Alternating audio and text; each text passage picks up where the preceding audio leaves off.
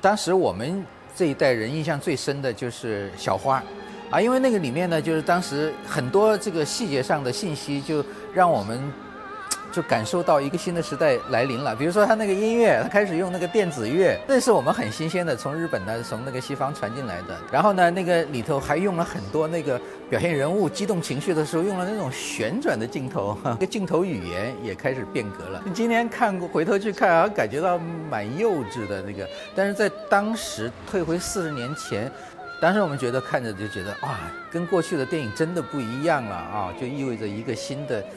时代慢慢慢慢的就是向你张开了大门。